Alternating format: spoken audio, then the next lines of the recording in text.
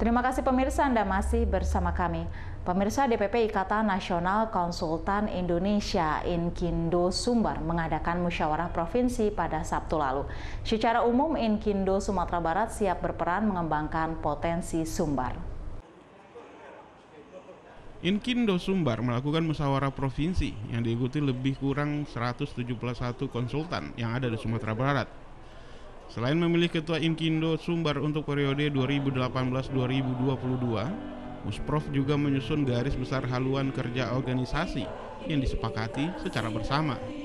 Musprof yang digelar oleh Gindo ini merupakan upaya konsultan yang ada di Sumatera Barat untuk dapat berperan aktif dalam pembangunan di Sumatera Barat sehingga Provinsi Sumatera Barat dapat jauh lebih berkembang.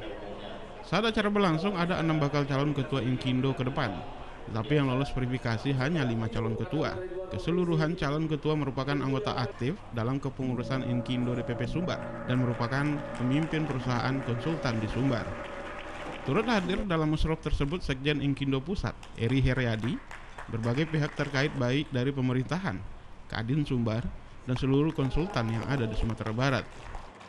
Ini pertama sekali menyusun KBHKO, garis besar haluan kebijaksanaan organisasi Inkindo Sumatera Barat.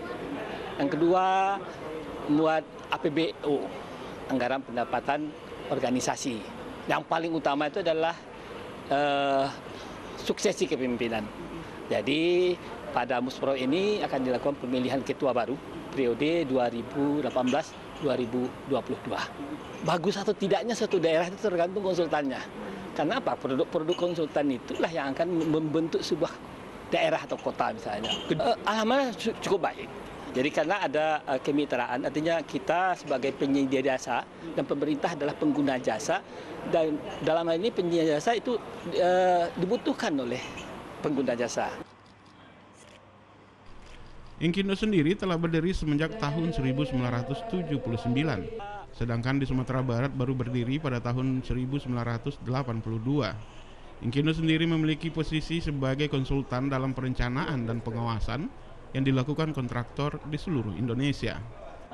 Uh, memang sesuai dengan ADART kami, setiap provinsi, uh, pengurus uh, provinsi itu wajib melaksanakan musyawarah provinsi di Inkindonya masing-masing, di provinsi masing-masing, setiap empat tahun sekali.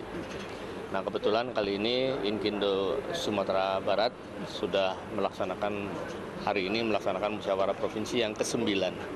Untuk di musyawarah provinsi ini kita diskusi tentang eh, program, program 4 tahun ke depan, kemudian anggarannya juga